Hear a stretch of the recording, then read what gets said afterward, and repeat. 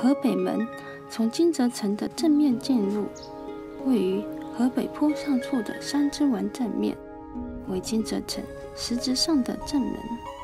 玉石川门、桥爪门，并称为金泽城山玉门。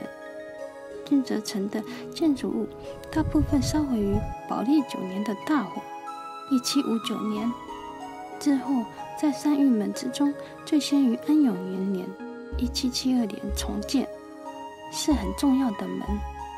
现存的建筑物时隔一百三十年，与平成二十二年（二零一零年）。完成了复原。